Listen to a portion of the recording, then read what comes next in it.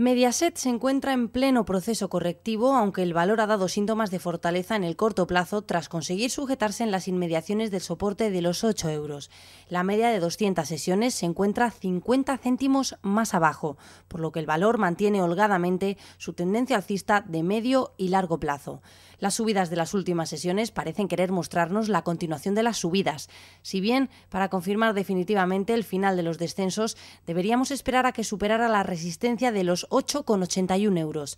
Esto impulsaría su cotización de manera inmediata hasta los máximos anuales del pasado año, que presentan los 9,49 euros. Los buenos niveles de acumulación no hacen más que confirmar la fortaleza de las compras a medio y largo plazo.